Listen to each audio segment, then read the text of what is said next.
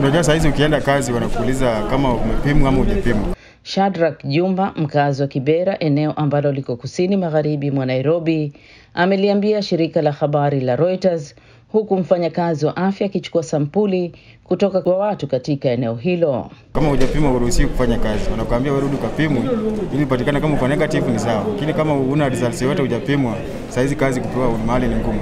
Kibera ni moja ya maeneo makubwa sana ya mabanda barani Afrika. Ni makazi ya karibu watu nusu milioni, ambapo wengi wao wanaishi katika mabanda yaliyoezekwa kwa mabati chakavu, wamesongamana. Hali ya huko, maafisa wa afya wanasema, inafanya iwe vigumu sana kupunguza kasi ya kusambaa kwa maambukizi.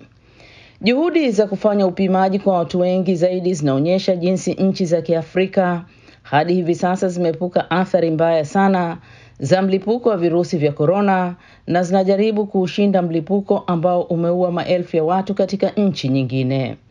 Watu wanahofia unyanyapaa endapo wakigundulika wameambukizwa virusi na kutajwa katika jamii zao, anasema Ahmed Kalebi, daktari wa watoto na afisa mtendaji mkuu wa kampuni ya Lancet Group of Laboratories yenye maabara ambazo zinafanya kazi katika mataifa kumi na moja ya Afrika. Watu wanahofia kupimwa kwa sababu ya masuala ya karantini na kulazimishwa kujitenga na mambo mengine kadhaa, ikiwa pamoja na unyanyapaa baada ya kugundulika mtu ana virusi na hivyo kutajwa katika jamii na kutengwa. Kenya hadi hivi sasa imerekodi zaidi ya kesi 1400 za COVID-19 na vifo zaidi ya 52 ikiwa ni vichache mno ukilinganisha na nchi mbalimbali za Ulaya, Asia au Amerika. Katika siku za karibuni kumekuwepo na ongezeko katika kesi za COVID-19 huko Kibera. Serikali ya Kenya ilifikiria mipango ya kulifunga eneo hilo. Gazeti litolewalo kila siku nchini humo la The Standard limeripoti.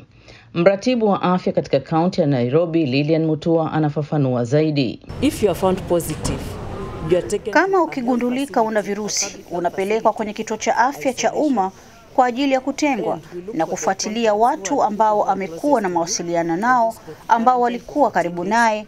Kama nao wakigundulika nao wana virusi pia watatengwa na kuhudumiwa na kuangaliwa kwa karibu sana kuona kama wataonyesha dalili zozote na kukusanya habari zote, na baadaye watapewa ruhusa kwenda nyumbani.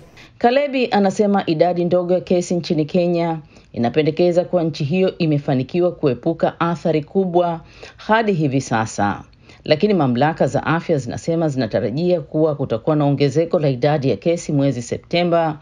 Khadija Riami, VOA, Washington.